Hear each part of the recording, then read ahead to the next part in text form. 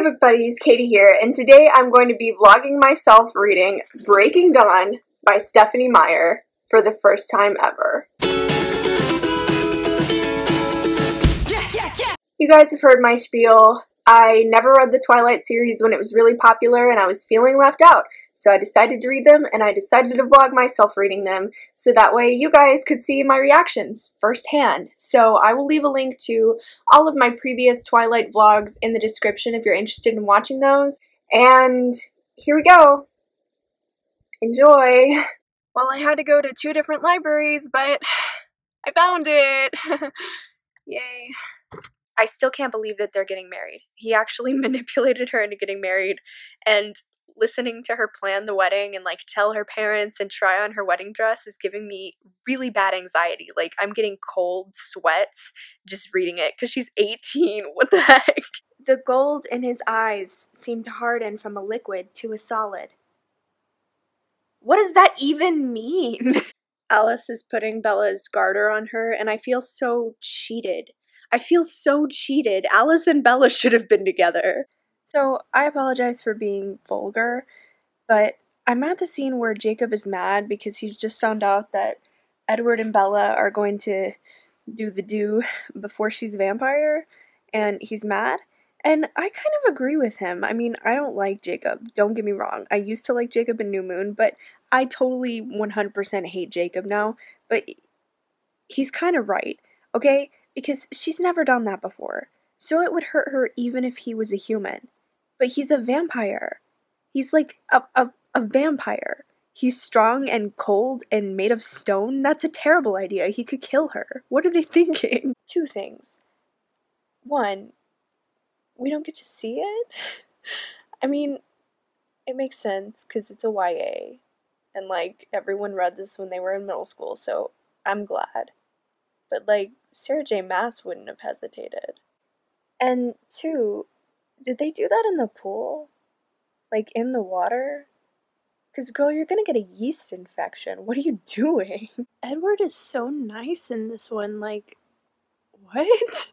This is making me kind of upset because she's finally decided that she likes being a human and she wants to go to college and she's like, maybe being a human isn't so bad, but like, I know that she's pregnant and she's gonna have to be a vampire soon. And that sucks. Every time he calls her Mrs. Cullen, I wanna vom. Okay, so I was listening to the audiobook while I was at work, and Bella's pregnant, and it gave me hella anxiety reading about it. I knew she was gonna be pregnant, but like just hearing her think about it my hands were sweating and like I was wearing gloves because I was in the lab. It was disgusting. But uh, I have a couple questions about the logistics about her being pregnant. I'm not trying to be rated R here, but uh, Edward doesn't have bodily functions. Like he can't even cry, so how? Also, he doesn't have a heartbeat, so he wouldn't even be able to like get up. So so how? Maybe that's why it didn't really hurt her that much because it was just flaccid. but the science behind it, there there is none. There's there's no science behind it. And also, so he would be able to notice if he was producing liquids, right? So why would they not wear a condom just to be safe? Because I wouldn't want vampire sperm like and now I'm at the part with Jacob and I hate him.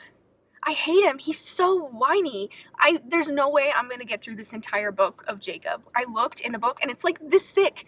I'm not going to survive. And I have to listen to him describe Quill and Claire, that little girl. I'm going to be sick because I know what's coming and I'm going to be sick. I can't I can't even read that. Who would write that? I'm freaking out and I need to calm down. But like I don't think I'm going to survive this book. I really don't. Hold up why is this making me emotional? Edward is like really upset. She thinks Bella's gonna die, and I'm actually invested and what? Okay, so this thing with the chromosomes, that's not science. That doesn't make any sense at all. Like, at all. Leah is awesome, and I just want her to be happy. Oh my gosh, Edward can hear the baby when she's in her stomach. He can hear her. Oh, that's so sweet. I passed a couple of malls, which probably would have been pretty good places to find girls my age, but I couldn't make myself stop. Did I want to imprint on some girl who hung out in a mall all day? Jacob can choke. It bothers me that she's spending this much time setting up Jacob and Leah just to have Jacob fall in love with an infant. And also at this point, I think I just need to admit that I love Edward. I really like Edward a lot. He's great. I was wrong. I wish that this Edward could have been the Edward in all the other books, because if he had just been acting this way the whole series, I would have never had a problem with him. This Breaking Dawn husband Edward is great. It was not smart to try to listen to this scene while I'm at work. to the birth scene while I was in the lab, and that was not a good idea. I really am surprised that I did not lose the contents of my stomach. I'm being serious. I felt faint. I felt like I was going to be sick. And then Jacob imprinted on a baby. And I got to see that from his point of view. I am disgusted. At least Bella is a vampire now. I've been looking forward to this, so hopefully she's as badass as I want her to be. Okay, while I was driving home from work, I was listening to her describe being a vampire now, and she was talking about seeing Edward for the first time as a vampire, and how when she was a human, he looked beautiful, but now with her heightened vampire sight, he looked different. And for just a brief second, I thought she was gonna be like, he's actually not that cute. But she didn't. He's even more beautiful than before. But I just think it would be really funny if she turned into a vampire and all of a sudden Edward just looked like a regular person. You nicknamed my daughter after the Loch Ness monster? I I hope she kills him. Jacob is ruining everything, and I hate him with every single fiber of my being. And I'm so upset that there is video evidence on the internet of me reading New Moon and being Team Jacob. Like, anyone can just see that. That I used to be Team Jacob. I'm sickened. How could he drag Charlie into this? Like, he doesn't even care. He doesn't even think. He doesn't even have a brain. Also, it's been like 50 pages, and I still can't get over you nicknamed my daughter after the Loch Ness Monster. Why is that? Why is that? Why is that the thing that makes her attack him? so, I was just thinking about it, and Alice told Bella that the venom in her eyes would dissolve her color contacts. So, if there's venom in her eyes, that would mean that there's venom in all of Edward, which I'm sorry to bring this back up again, but I just can't get over it. Why would they have been unprotected if he has venomous sperm? Because couldn't that have turned her or killed her? Why were they not thinking about that? maybe I'm overthinking this whole thing. So it's Thanksgiving, and my family decided to watch Twilight, the first movie, and just make fun of it. And while I was watching it, I started getting this very strange feeling in my chest. And then at the end, when Decode by Paramore came on, I realized that I have been depriving myself of this series and I'm not letting myself like it because I feel like I'm not supposed to because I know it's bad. I on some level I know that it's garbage. It's not a good book series. But like my heart wants to love it. And I think I should just let myself love it because I didn't read the series when I was in middle school and when everyone was obsessed with it. And I shouldn't I shouldn't deprive that part of myself. If I want to like a cheesy vampire romance series, I should just let myself do that. So, I'm aware that the series is trash, and yes, I hate it. And yes, so much of it makes me roll my eyes and want to puke. But also, it's like so fun. And I did not expect this switch. When I decided to start vlogging myself reading these, I was doing it for entertainment purposes because I thought that you guys would just be able to see me rant about how much that I hated it.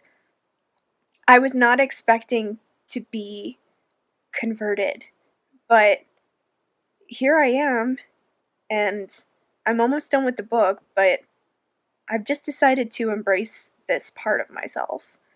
I guess I'm a Twihard now. I was supposed to destroy the dark side, not join them. Okay, I'm gonna get to reading now.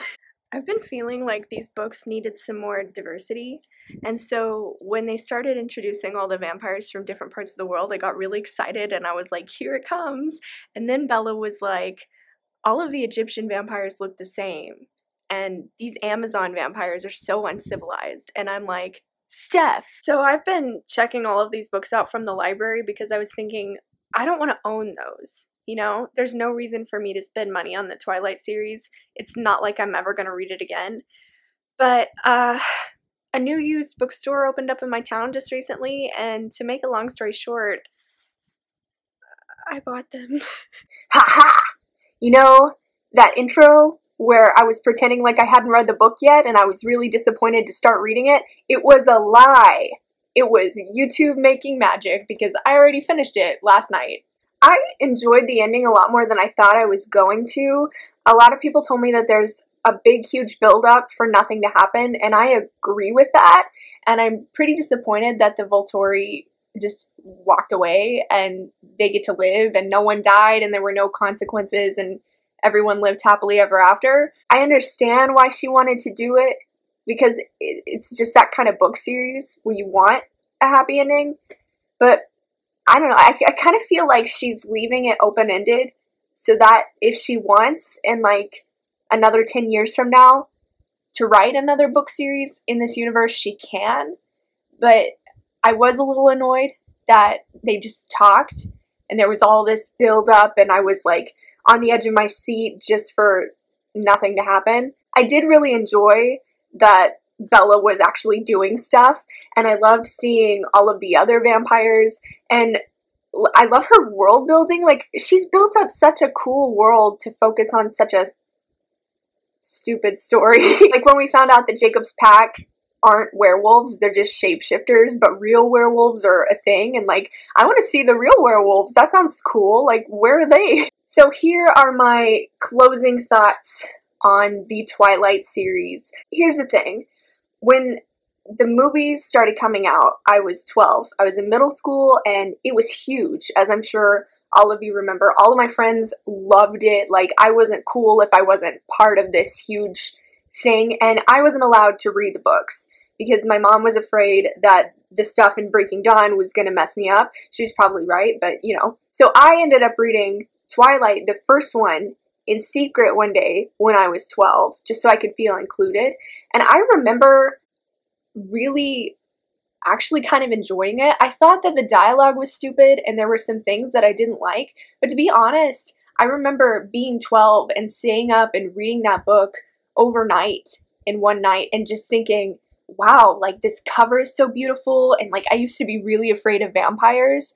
So this book series made me not afraid of vampires because they were the good guys. I don't know, it was so like juicy and uh, it, the dialogue, even though it was stupid, kind of stuck with me. And I remember that. And I decided not to continue reading the series because I didn't want to have to hide it from my mom. And then by the time I was old enough to read Twilight, to be allowed to read Twilight, the hype was gone, and now the new cool thing was to hate it.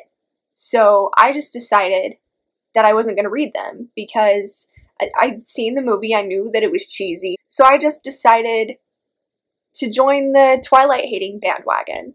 And I never read them until now. And I thought when I started doing this that I was going to vlog myself reading them and it was going to be like an entertaining thing for you guys. Like, oh, watch me bash on Twilight for however long. Honestly, they're bad. They're not good books, and there there are lots of things in them that are pretty twisted and messed up.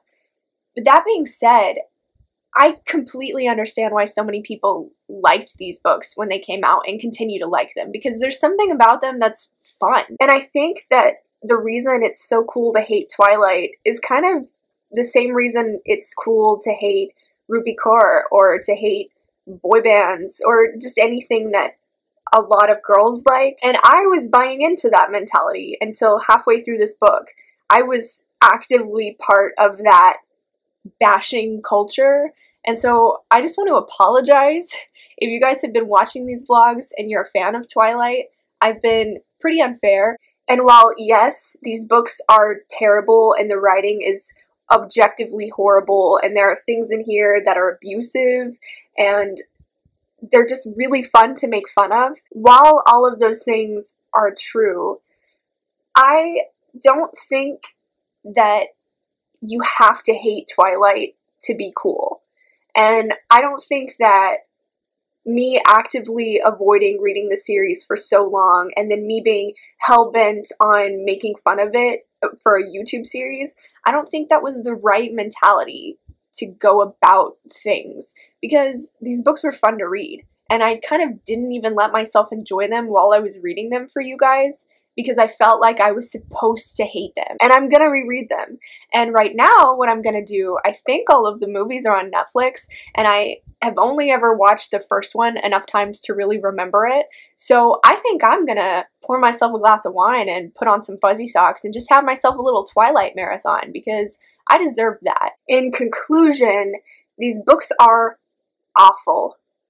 They're they're so terrible that they are negative one star, but they're also five star books. If you enjoyed this video, please feel free to give it a like or subscribe to my channel.